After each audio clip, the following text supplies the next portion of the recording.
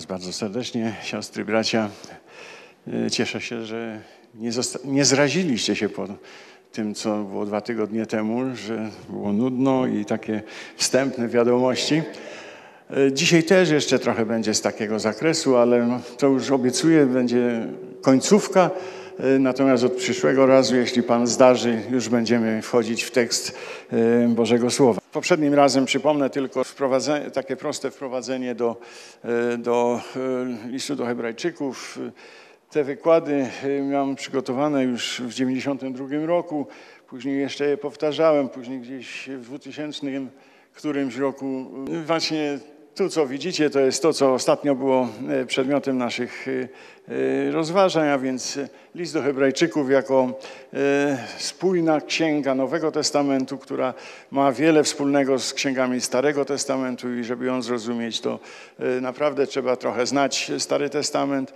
Również list do Hebrajczyków mówiłem o jego połączeniach, powiązaniach, ścisłych koneksjach z treściami w Nowym Testamencie. E, ogólną taką analizę e, listu do e, Hebrajczyków, przykładowy podział tekstu, kluczowe wersety. Pamiętacie jeszcze kluczowe wersety, jakie mogą być i jakie one mają wielkie znaczenie? 13:8 listu do Hebrajczyków. Jezus Chrystus wczoraj, dziś i ten sam na wieki. Wiecie, że to jest kluczowy werset tego listu dla tych, do których on pisał? Jezus Chrystus wczoraj, a więc dla naszych ojców, dla Starego Testamentu, dla Starego Przymierza, Jezus Chrystus był, dzisiaj jest i takim samym będzie na wieki. To jest mocne przesłanie i to jest kwintesencja. Bardzo ważne jest, żeby mówić, e, mówiłem o tym, że dobre kazanie, przynajmniej w moim odczuciu, jest takie, jak się może jego tytuł zawrzeć w jednym zdaniu, a jeszcze lepiej, jak tylko w jednym słowie. I wtedy, wtedy to jest po prostu coś, co e, pozwala e, ludziom zapamiętać pewne rzeczy. A więc kluczowe słowa, jakieś cechy e, szczególne. Dzisiaj będę chciał się zająć sprawą autora listu do Hebrajczyków, kanoniczności tego listu, sprawa za i przeciw za autorstwem apostoła Pawła. Y, chcę dzisiaj również zdążyć y, zwrócić uwagę Waszą na odbiorców, adresatów listu do Hebrajczyków. Y, wydaje mi się, że jest to bardzo ważne, abyśmy sobie uświadomili, do kogo jest skierowany ten list, do kogo, kim byli ludzie, którzy, do, do których autor wysyłał. E, ich e, postawa, e, data mniej więcej napisania. Z tym, że nie będę się wgłębiał w takie szczegóły, które gdzieś tam w szkole biblijnej czy na seminarium podaję, ale niektóre z nich tylko będę chciał poruszyć. Więc to mniej więcej jest dzisiejszy zakres tego, o czym chciałbym, czym chciałbym Was zainteresować, jeśli chodzi o list do Hebrajczyków. Przejdźmy zatem do sprawy autorstwa i zacznijmy od kanoniczności. E, kanoniczność pism to bardzo istotna sprawa. E, szczególnie mamy w Starym Testamencie, w niektórych Bibliach, tak zwane wtórokanoniczne e, pisma, czy niekanoniczne księgi. Kanoniczność jest określana po, po wielu takich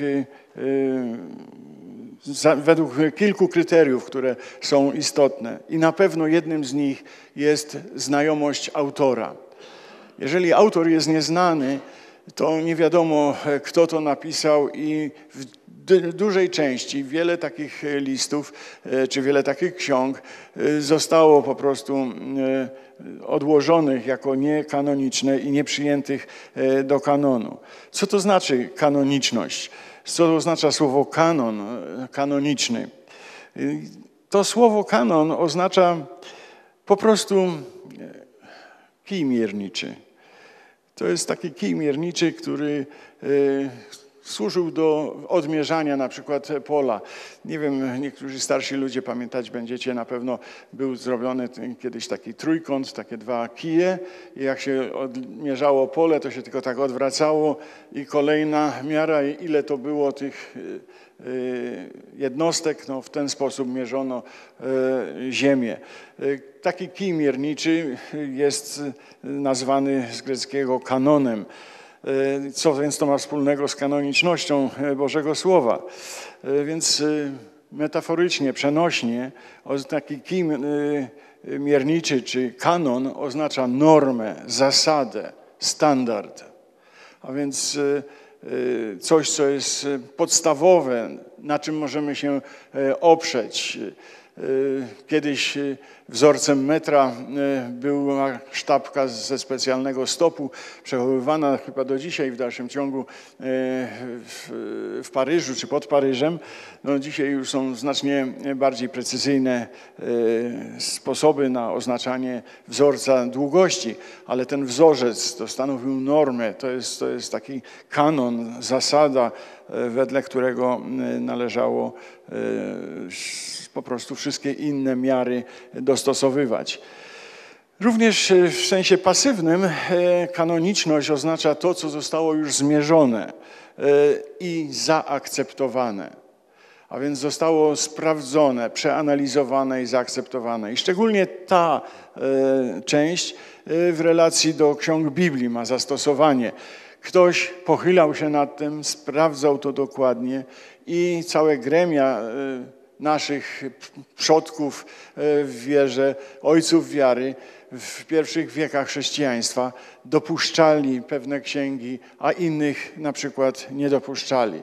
Być może niektórzy z Was słyszeli, że na przykład są e, dodatkowe rozdziały e, Ewangelii Mateusza, czy cała Ewangelia Mateusza jest jakoś taka druga napisana ona się nie pojawiła, nie została wprowadzona do kanonu i nikt z niej nie korzysta, dlatego że wtedy do, bardzo łatwo doszli do wniosku, że jest to e, fałszywka, że nie jest to coś prawdziwego, zainspirowanego e, przez Boga.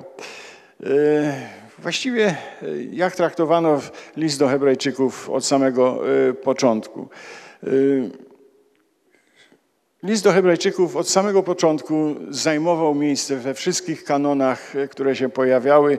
Szczególnie one tworzone były w III, IV wieku i od samego początku było miejsce dla listu do Hebrajczyków. Tych wszystkich kanonów, ich nazw i, i lat powstania i kto nad tym pracował nie podaję, dlatego że no, i tak byście nie zapamiętali, a do ogólnego zbudowania to nie jest nam potrzebne. Ważne, co radziłbym zapamiętać, o czym jesteśmy jako wierzący ludzie przekonani, że jest to sprawdzony, kanoniczny, e, kanoniczna księga Nowego Testamentu, że jest to zainspirowane i natchnione Boże Słowo, z którego możemy czerpać zbudowanie, na którym możemy opierać e, swoją e, wiarę. Popatrzmy dalej, jeśli chodzi o kanoniczność. List do Hebrajczyków nigdy w historii chrześcijaństwa, w historii e, nowożytnej nie był w Kościele kwestionowany. E, kanoniczność listu do Hebrajczyków. Pojawiały się w niektórych e, momentach wątpliwości co do osoby autora i właściwie do dzisiaj tak naprawdę trudno powiedzieć ze stuprocentową pewnością, kto jest autorem. Dlatego ja zamiast wymieniać imię, używam tylko słowo autor listu e, do Hebrajczyków, chociaż kilka przykładów za chwilę e, postaram się e, przekazać. Ogólnie list do Hebrajczyków uważano jako dzieło apostoła Pawła, które jeśli nie przez niego było napisane osobiście, to zapewne przez jednego z jego najbliższych współpracowników. Za chwilę powiem, e, na czym taka teza, na czym takie, e, takie podsumowanie e, jest oparte.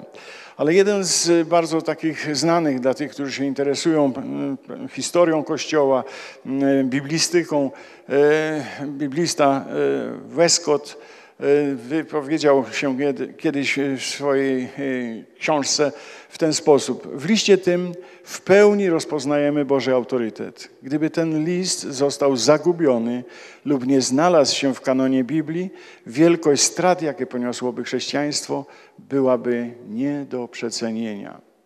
Ja ostatnio użyłem e, tego określenia, że list do Hebrajczyków jest taką klamrą, takim grzbietem, który spina nam e, Stary Testament z Nowym. I dzięki temu mówimy, że mamy jedną Biblię, mamy e, Boże Słowo składające się co prawda ze Starego i z Nowego Testamentu, ale to jest całe pismo natchnione, całe pismo jest skuteczne do nauki, do poprawy, do budowania dla nas, e, chrześcijan, e, bardzo skuteczne.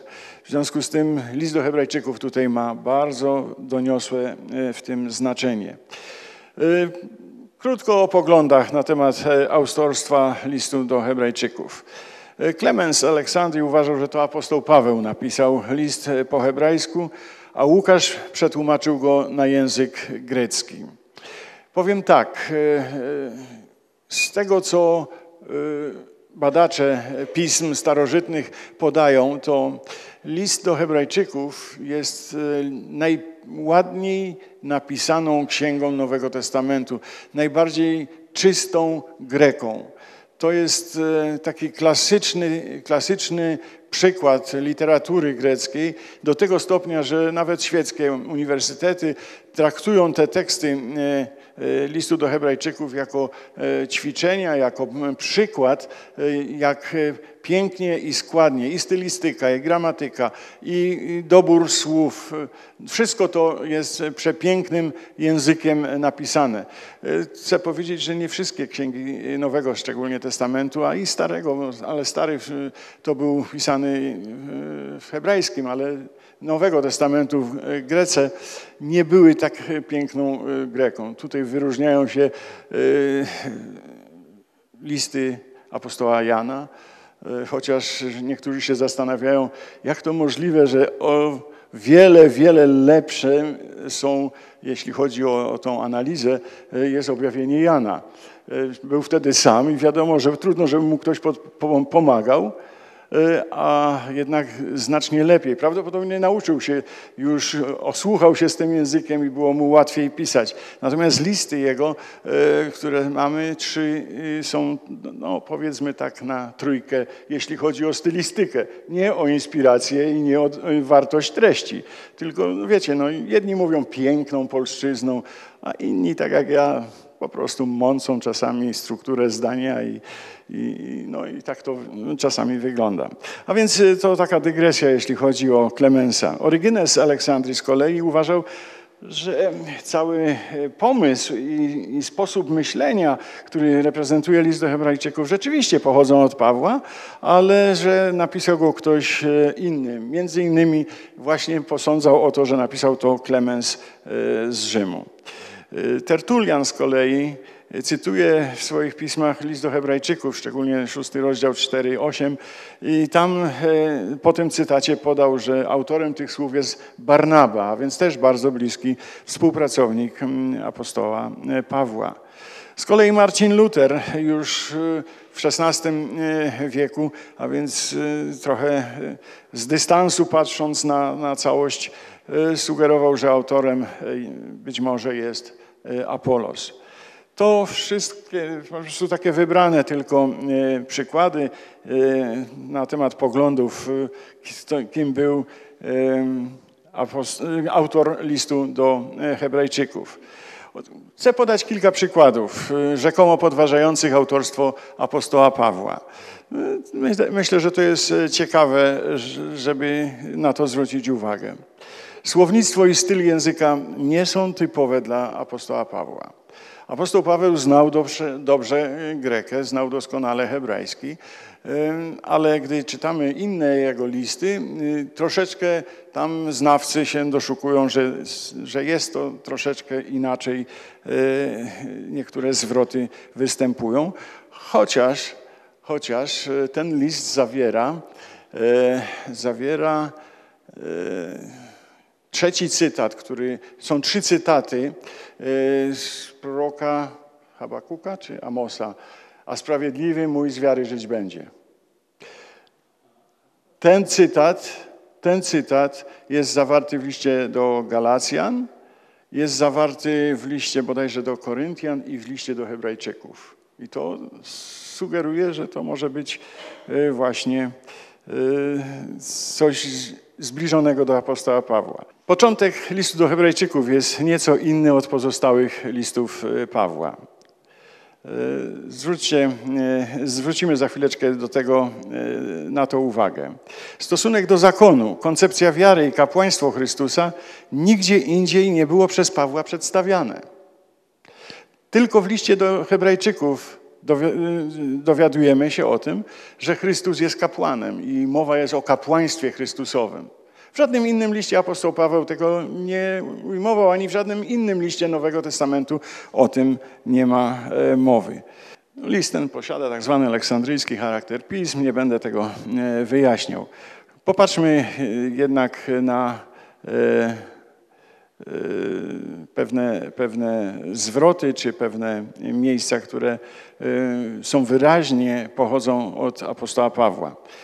Za wyjątkiem oczywiście rozpoczęcia, cała struktura listu Hebrajczyków nosi znamiona używanej przez niego w listach. Po drugie, Tymoteusz był osobą, której losy nie były obojętne dla autora. W 13 rozdziale, 23 wersecie czytamy. Wiecie, że brat nasz Tymoteusz został zwolniony. Jeżeli wkrótce przyjdzie, zobaczę was razem z nim. Czy nie brzmi to tak jak w listach które napisał apostoł Paweł? Moim zdaniem tak. Popatrzmy dalej. Y, chrystocentryzm. Apostoł Paweł bardzo y, swoją, swoje myśli i swoje przesłanie w listach, które kierował do Kościoła, nie kierował o jakichś tam innych administracyjnych, czy ekonomicznych, czy innych sprawach, zawsze Chrystus stanowił centrum, był e, w centrum jego uwagi i, i na to zwracał, zwracał, kładł mocny e, akcent. Dalej, uznawanie Nowego Przymierza jako tego, które zastępuje, które wypiera zakon, a więc Stare e, Przymierze. To też jest e, u e, apostoła bardzo e, ważne. I tutaj akcentowanie właśnie roli wiary, to o czym wspomniałem wcześniej. List do Rzymian, aha, list do Rzymian jest w liście do Galacjan i w liście do Hebrajczyków cytują Habakuka 2,4. A sprawiedliwy z wiary żyć będzie. Autor był człowiekiem, który szczególną miał w sercu pozytywne nastawienie do chrześcijan Żydów, e, by nie powracali z powrotem do judaizmu i jego praktyk.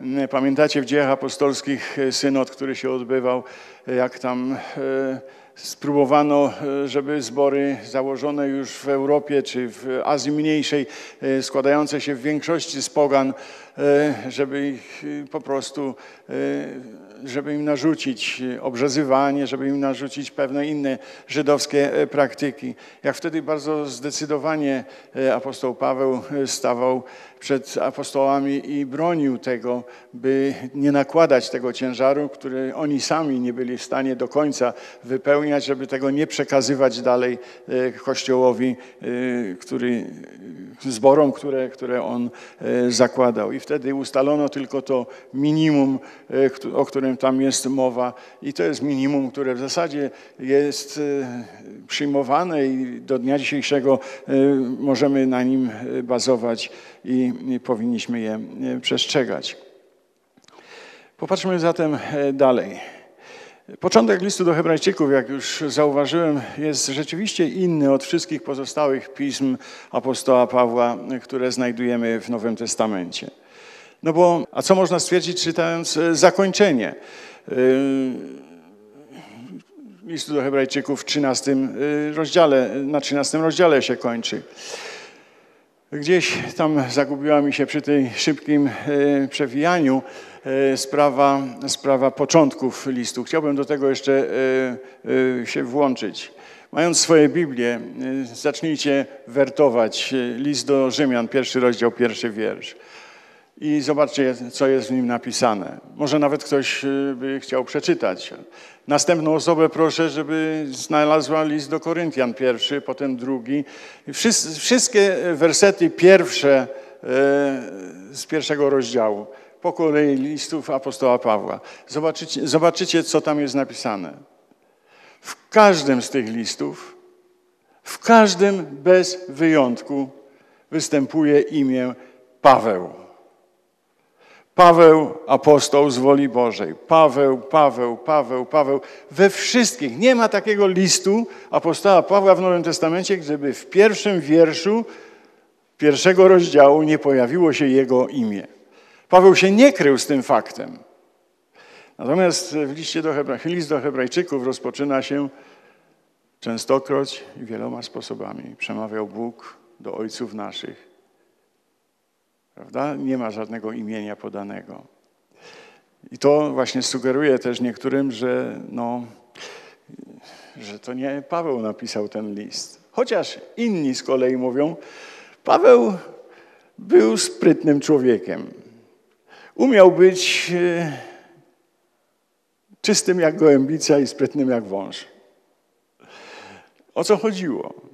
Gdyby on kierując list do Żydów, którzy go w większości mieli serdecznie dość, którzy go nie lubili. I taki list gdzieś tam dociera i czytają Paweł, apostoł. Od razu zamknięty, odstawiony na półkę.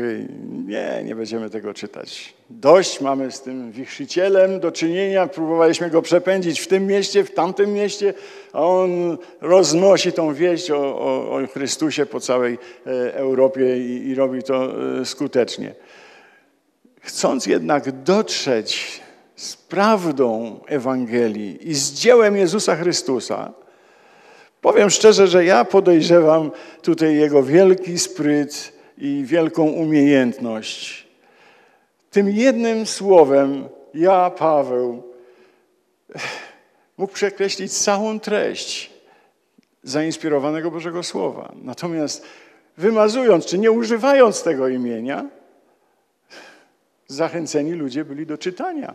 No bo teraz ci, którym na, na pamięć przychodzi, że mają ojców, że to są e, przodkowie wiary, że to są ich e, e, przodkowie i tak dalej, i że Bóg do nich przemawiał, a teraz w okresu tych dni przemawia do nas przez Chrystusa, to zaczyna wciągać taka, taka informacja i myślę, że tutaj w tym, za tym kryje się nie tylko odrobina, ale dosyć mocna sugestia, że apostoł Paweł tutaj z tym miał chyba jakieś coś do, do powiedzenia. Drodzy, Jakie zakończenie? No już y, przekazałem, że na przykład zainteresowanie Tymoteuszem i jego losem interesuje się. Tymoteusz jest dla niego kimś bliskim. Jak tylko wyjdzie z tego więzienia, więc y, y, przyjdę do was. To brzmi tak bardzo po Pawłowemu. Listy apostoła Pawła to nie były tylko rozprawy teologiczne, ale bardzo praktyczne wskazówki dla Kościoła. Jak mają postępować wobec tego, co zostało im przekazane.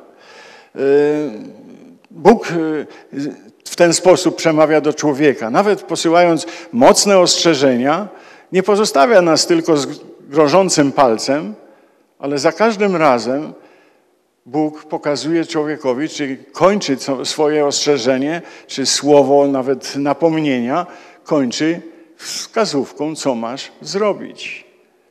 Dlatego e, nikt nie ma wymówki, że no tak, Bóg się na mnie pogniewał, coś tam mi zarzuca i tak dalej, a teraz nie wiem, co mam z tym zrobić. Tak nikt nie może powiedzieć, dlatego że Bóg, jak tylko coś ma przeciwko i mówi do ciebie, to nie pozostawia cię z tym, ale również pokazuje ci drogę naprawy, drogę wyjścia, co masz e, dokładnie, konkretnie zrobić. Podobnie zawiera e, takie praktyczne napomnienia i, list do Hebrajczyków. Paweł właśnie to e, bardzo skrupulatnie e, wykonywał. Autor modli się również o swoich adresatów, do których kieruje to słowo. Popatrzmy. Bóg pokoju, który przez krew przymierza wiecznego wywiódł spośród umarłych wielkiego pasterza owiec Pana naszego Jezusa, Niech was wyposaży we wszystko dobre, abyście spełniali wolę Jego, sprawując w nas to, co miłe jest w oczach Jego przez Jezusa Chrystusa, któremu niech będzie chwała na wieki wieków. Amen. A proszę was, bracia, przyjmijcie to słowo napomnienia, bo on krótko do was napisał. I tutaj ten 23 werset, który wcześniej o Tymoteuszu cytowałem. I teraz 24. Y, Pozdrówcie wszystkich przewodników waszych i wszystkich świętych. Pozdrawiają was ci, którzy są z Italii. Łaska niech będzie z wami wszystkimi. Amen. Ja y, odnoszę wrażenie, że czytałem fragment jednego z listów apostoła Pawła. Także y, to jest bardzo istotne, a więc osobiste informacje. Czytaliśmy te wersety już i zakończenie listu słowami błogosławieństwa. To jest cecha charakterystyczna. Tak więc y, wiele na to wskazuje, że y, to jest y, list tego autora. A jakie są przykłady argumentów za autorstwem? Bo to wszystko były przeciwko jego autorstwu, jak gdyby, że to nie tak w innych jego listach wygląda. Znany i powszechny był e, apostoł Paweł jako apostoł pogan. Ale znane jest również to, że miał taką zasadę, którą sobie sam ustanowił dla siebie, że będzie e, głosił najpierw Żydom, a potem innym. I o tym możemy czytać w liście do Rzymian 1:6. Albowiem nie wstydzę się Ewangelii Chrystusowej, jest ona bowiem mocą Bożą ku zbawieniu każdego, kto wierzy. Najpierw Żyda, potem Greka. Niektórzy z tego robią od razu e, kazanie i mówią, że Żydzi e, są ważniejsi dla Ewangelii niż e, Grecy, niż poganie. Bo tutaj apostoł Paweł w ten sposób to umieścił. No więc byłbym bardzo ostrożny nawet kiedyś zwróciłem jednemu z znanych kaznodziei mm, uwagę, który zaczął bazować na tym wersecie, że to, że to najpierw Żydzi, a potem e, Grecy. Ja mówię, a popa, posłuchaj tego, jak Bóg przez Ananiasza w dziejach apostolskich przemawia do Pawła. Kiedy Ananiasz był nieprzekonany, czy ma się modlić z tym, który przyszedł ich e, prześladować do Damaszku, e, to e, zobaczcie, jak to wyglądało. Lecz Pan rzekł do Ananiasza, idź, albowiem mąż ten jest moim narzędziem wybranym, aby zaniósł imię moje przed jeżeli robić już dogmatykę na bazie kolejności, to tu ją mamy jak na dłoni wystawione. Ale też jestem daleki od tego, abyśmy y, wedle tego, że tutaj było powiedziane najpierw pogan, to najpierw pogan, a Żydzi na końcu. To nie jest ważne. W każdym narodzie Bóg ma umiłowanych i gdy Go wzywają, gdy są otwarte serca, gotów jest okazywać swoje miłosierdzie i zbawienie. W każdym razie zobaczcie, co Bóg mówi. To jest moje narzędzie, które posyłam, aby zaniósł moje imię przed pogan i przed królów i na końcu i synów Izraela. A więc y, nie można tak zbyt pochopnie y, dać się sprowadzić, że o, tutaj w liście do Rzymian jest napisane najpierw Żydom, potem Grekom, to już to jest y, jakaś tam zasada lepiej troszeczkę ostrożniej y, z, tym, z, tą, z tymi kolejnościami, bo one tak naprawdę nie zmieniają niczego, że Bóg jest miły każdym narodzie, który go się y, boi. Y, również apostoł Paweł jest postacią, która dotrzymuje wierności zasadzie głoszenia Ewangelii i oczywiście on sobie tę zasadę na zasadzie bliższa koszula ciału. No, no, modlił się nawet, czy pisał, e, że gotów byłby sam zrezygnować ze swojego zbawienia, żeby jego naród został zbawiony.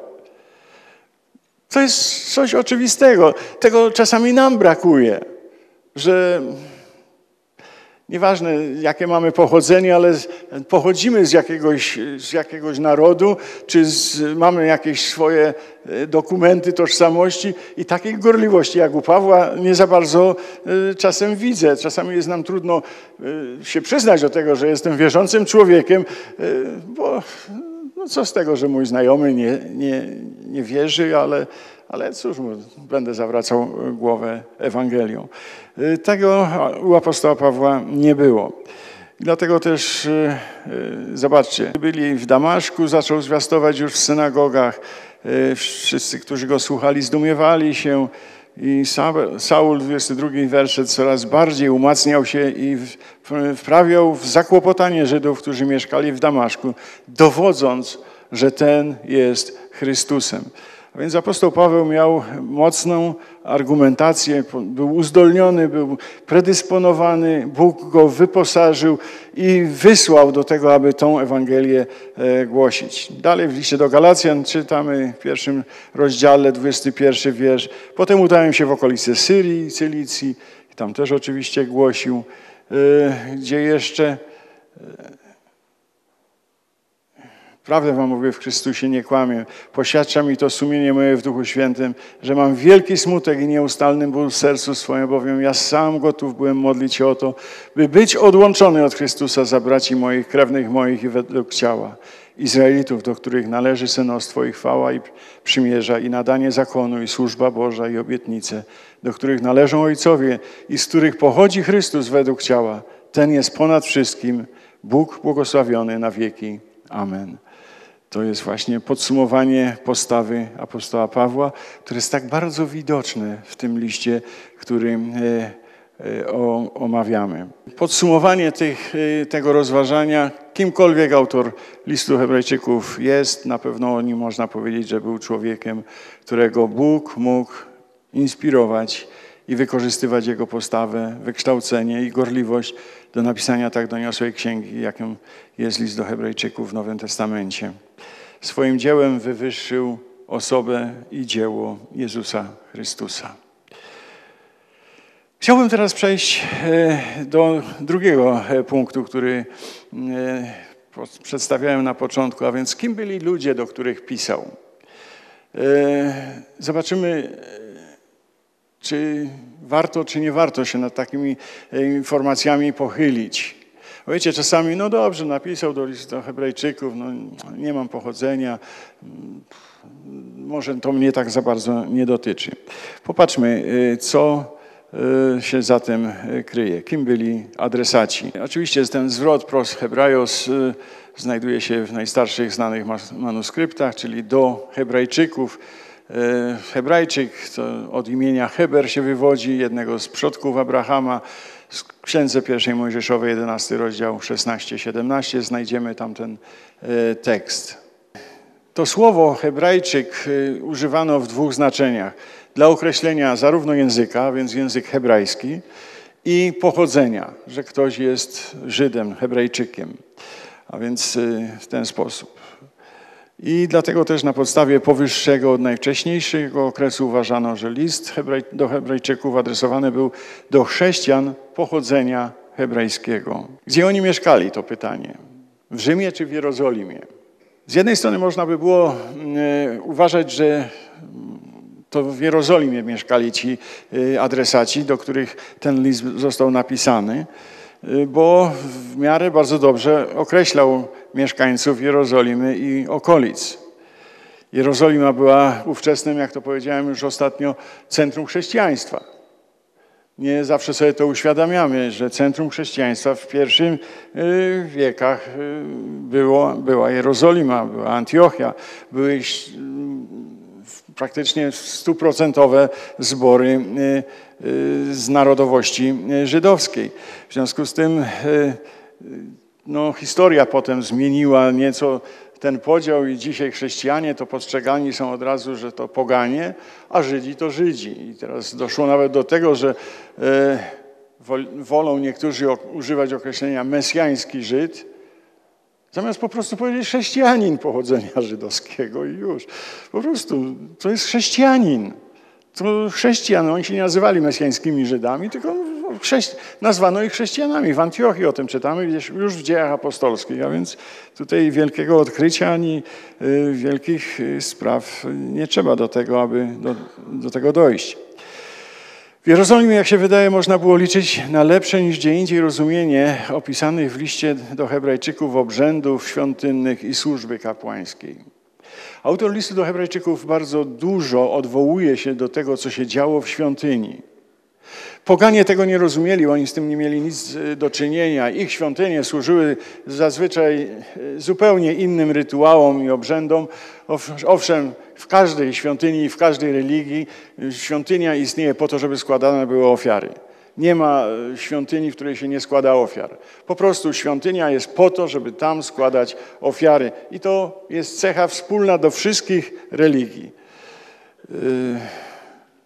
Prawdziwe chrześcijaństwo gdzie my mamy prawdziwą świątynię? Masz lusterko? To popatrz na siebie. Czy nie wiecie, że jesteśmy świątynią, gdzie powinny być składane ofiary? Z tej świątyni. Jakie ofiary? W liście do Hebrajczyków czytamy. Uwielbienie, owoc warg naszych w 13 rozdziale. A więc świątynia jest po to, żeby składać ofiary. I my też mamy świątynię, którą, w której powinny być składane ofiary przychylne y, jako miła woń przed y, tronem y, Bożym. A więc Jerozolima wydaje się, że takim miastem jest, ale również okazuje się, że Rzym był zasiedlony przez bardzo liczną populację Żydów, którzy się również tam nawracali i tam funkcjonowali. I zatem wskazuje to słowo, ci, którzy są z Italii, a którzy w danej chwili nie byli e, w Italii, więc pozdrawiają tych, którzy tam w Rzymie są. E, druga przyczyna, która e, na to wskazuje, czy drugi powód, w Jerozolimie chrześcijanie nie doznali takich prześladowań, jak ci chrześcijanie w Rzymie o których zresztą list do Hebrajczyków mówi i dzisiaj do, o tym będziemy na to zwracać uwagę. Mam nadzieję, że czas pozwoli. Y, dalej, sposób, w jaki usłyszeli Ewangelię, pasuje do tych, którzy właśnie mieszkali w Rzymie, bo mowa jest o tym, że przyjęli ją od tych, którzy słyszeli. A przecież w Jerozolimie byli ludzie, którzy mogli jeszcze pamiętać e, chodzących uczniów, czyli samego Jezusa po e, Palestynie i jak głosił e, Ewangelię. I, bo to były zaraz początkowe lata. Powyższe inne argumenty powodują, że właściwie dość powszechnie uważa się Rzym jako miejsce, do którego wysłano list do Hebrajczyków. Czas napisania to rok gdzieś Y, przed 65, około 65 świątynia jeszcze nie była zburzona. A więc w 70 roku została zburzona, y, tak się mm, y, określa ten mniej więcej czas.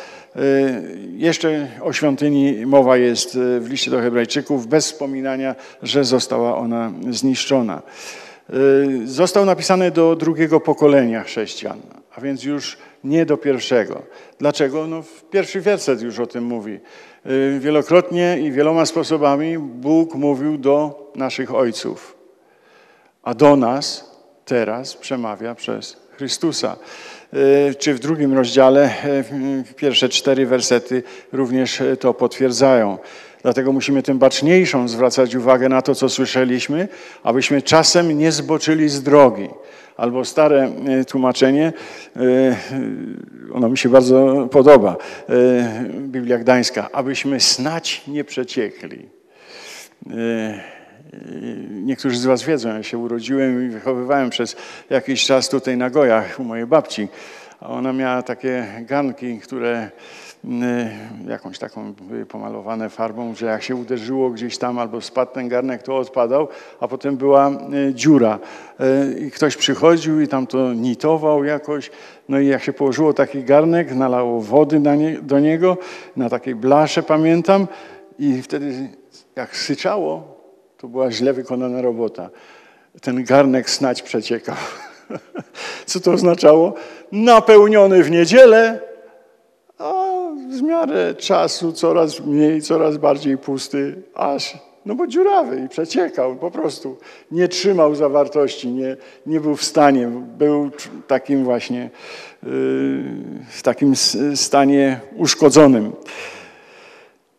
I tutaj jakże ujdziemy całe, jeśli zlekceważymy tak wielkie zbawienie. Najpierw było ono zwiastowane przez Pana, potem potwierdzane nam przez tych, którzy słyszeli, a więc wyraźnie wskazanie na drugie e, pokolenie ludzi. E, upłynęło sporo czasu od ich nawrócenia. A więc do ludzi, którzy stosunkowo kilka lat przynajmniej, albo kilkanaście lat, a może nawet kilkadziesiąt już lat mieli od e, swojego nawrócenia. Popatrzcie, w liście w piątym rozdziale, dwunastym wierszu. Biorąc pod uwagę czas, powinniście być nauczycielami Tymczasem znowu potrzebujecie kogoś, kto by was nauczył pierwszych zasad nauki Bożej. Staliście się takimi, że wam potrzeba mleka, a nie pokarmu stałego. Bracie i siostro, ja nie wiem, kiedy się narodziłeś na nowo, ale to do takich ludzi było kierowane to słowo w liście do Hebrajczyków. Mi to daje wiele do zrozumienia i Zastanawiam się za każdym razem, kiedy taki tekst czytam. Y, zapomnieli już dni poprzednie. Ile trzeba czasu, żeby zapomnieć? Y, och, ja wiem, że w małżeństwie to nie trzeba dużo czasu, co żona powiedziała. Rano mówi, zrób to, to, to i tamto, kup coś. Ja przyjeżdżam i co? Aha, zapomniałem. No to nie trzeba było dużo.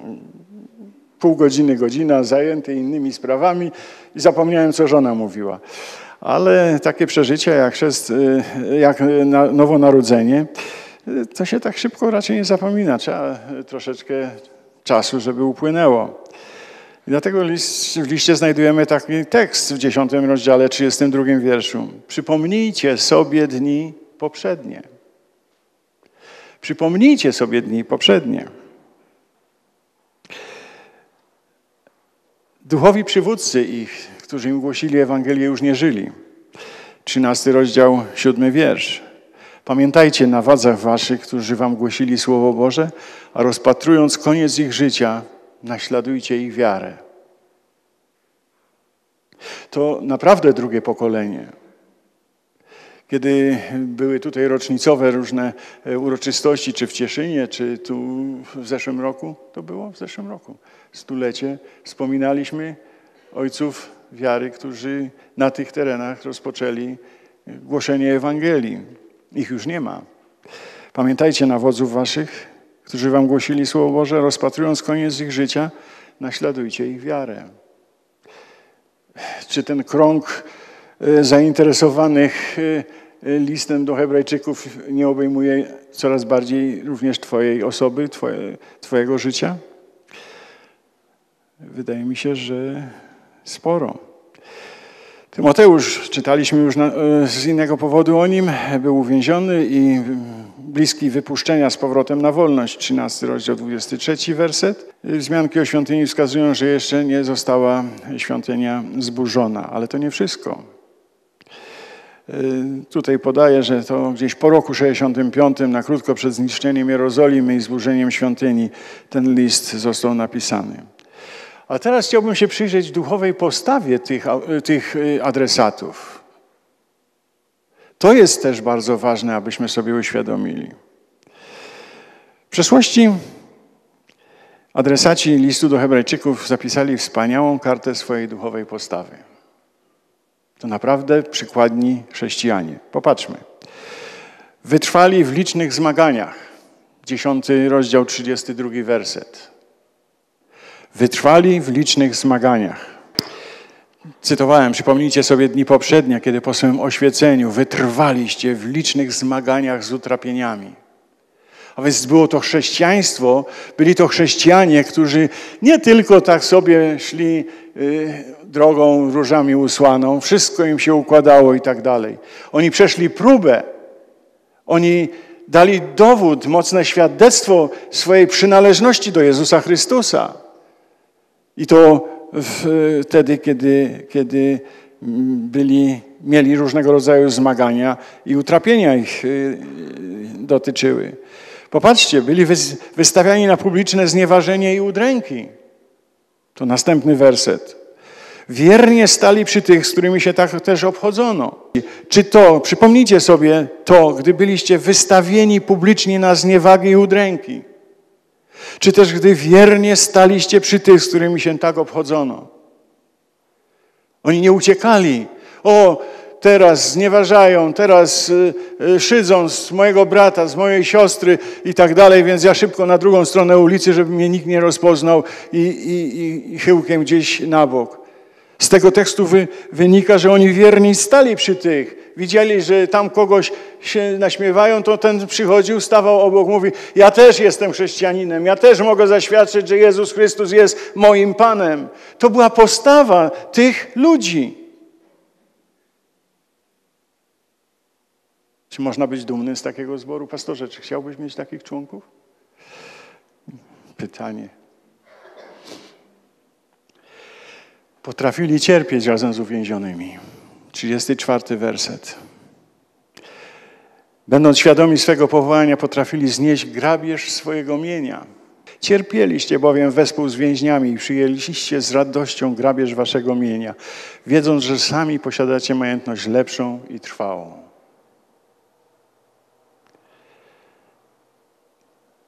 Ale coś się stało po, po drodze. Czas. Te cechy zaniknęły. I co jest obecnie, kiedy autor pisze do nich ten list? Bliscy są porzucenia wiary. Czy uzmysławiasz sobie to, siostro, bracie, będąc tak gorliwym chrześcijaninem, że można dojść do punktu w swoim życiu, że jesteś bliski porzucenia wiary? Dlatego warto zwrócić uwagę na list do Hebrajczyków, bo do takich ludzi jest on napisany. W 35 wersecie. Nie porzucajcie więc ufności waszej, która ma wielką zapłatę. Co dalej? Opadły im ręce i omdlały kolana. Nie masz czasami wszystkiego dość? Dlatego opadłe ręce i omdlałe kolana znowu wyprostujcie.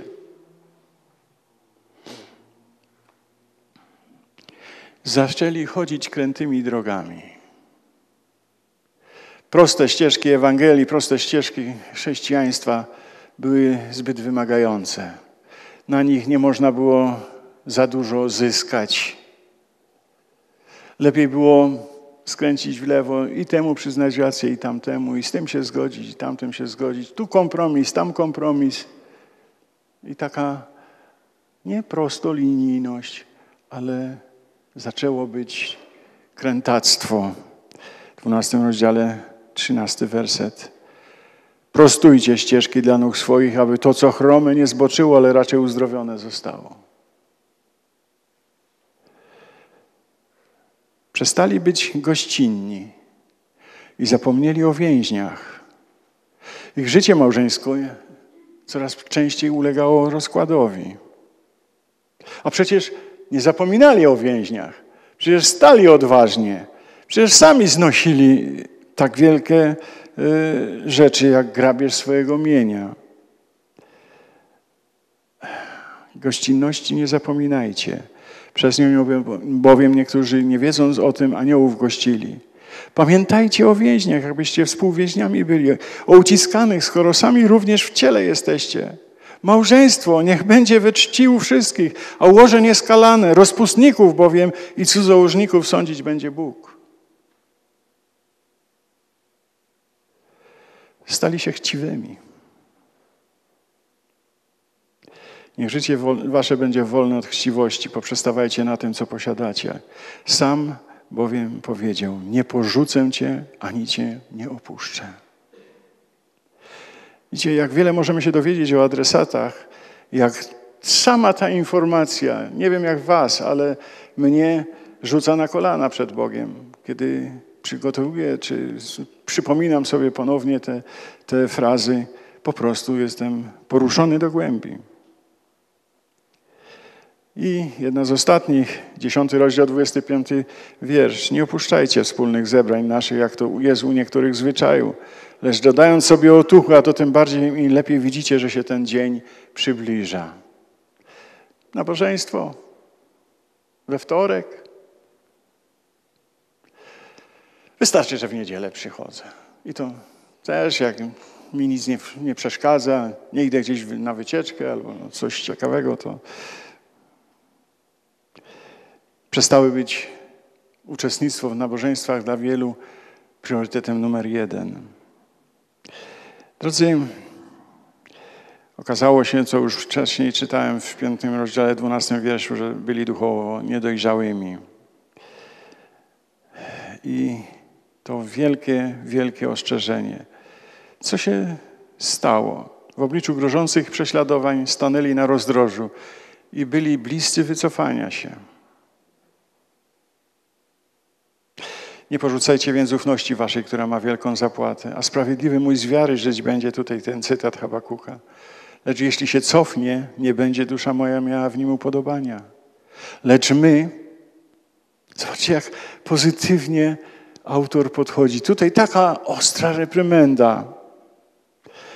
Ale on od razu, lecz my nie jesteśmy z tych, którzy się cofają i giną, lecz z tych, którzy wierzą i zachowują wiarę. Jaki to doping, jakie to jest, jakie to jest wzmacnianie postawy e, wierzących e, ludzi, którzy bujają na e, krawędzi.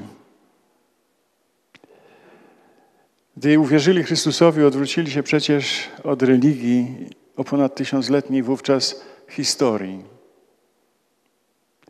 Ich rodziny pozostały w wierze ojców, opierały swe stanowisko na zdaniu ówczesnego duchowieństwa. Wiara ojców to dla nich coś więcej niż religia, to znaczący dorobek kulturowy. Więcej, to również fundament ich tożsamości, poczucia przynależności do narodu. Nie znacie takich przypadków wśród nas? Albo głosisz komuś Ewangelię, on mówi, mój dziad, mój ojciec, to i ja nie zmienię swojej wiary. A tu nie chodzi o zmienianie wiary, tylko o odwrócenie się od pustek, pustego e, rytuału religijnego, a zwrócenie swojej uwagi na Boga. Naprawdę, gdyby się przyjrzeć szerzej, bliżej jeszcze temu listowi adresatom, naprawdę zachęcam. Przeczytajcie te teksty, które są. Byli więc prześladowani za porzucenie wiary ojców, odrzuceni przez swoje rodziny, dawnych przyjaciół, żyli w poczuciu izolacji, osamotnienia, kuszeni do powrotu do dawnej religii, zachęcani do odwrotu od wiary na rzecz rytuału, przed podjęciem życiowej decyzji stanęli na rozdrożu z pytaniem, co dalej? Niezdolni do obrony swojego stanowiska wiary. Szukali satysfakcji w rozwiązłości i posiadaniu dóbr. Którą z dróg mieli wybrać? Wyszli z judaizmu, przeszli na chrześcijaństwo. Na tym w chrześcijaństwie na początku drogi ich cudowna postawa. Ale w miarę upływu czasu materializm, agnostycyzm, może nie ateizm, ani nie pogaństwo, ale przynajmniej te dwie ścieżki na tym skrzyżowaniu były dla nich wielce atrakcyjne. Ale bracia i siostry, jak wdzięczny jestem, że mogę powiedzieć, ale Bóg. Ale Bóg stanął na tym skrzyżowaniu. I posłał autora, który napisał taki list. Wiecie, gdy czytam ten list, a ostatnio e, zwróciłem uwagę też na inny list, list do Efezjan, ale nie ten napisany przez apostoła Pawła, ten podyktowany przez Jezusa Janowi.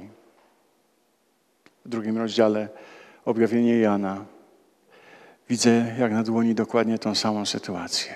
Znam uczynki Twoje.